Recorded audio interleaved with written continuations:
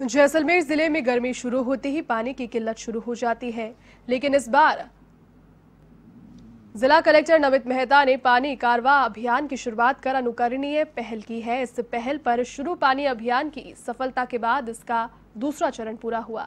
इसमें दो दर्जन से अधिक प्रशासनिक और विभागीय अधिकारियों ने भीषण गर्मी के बीच ज़िले के विभिन्न उपखंड क्षेत्रों की 50 से अधिक ग्राम पंचायतों का दौरा किया और साथ ही में गाँव और ढानियों तक पहुंचकर पेयजल व्यवस्था की हकीकत को जाना और इनके निर्णायक समाधान का खाका भी तैयार किया।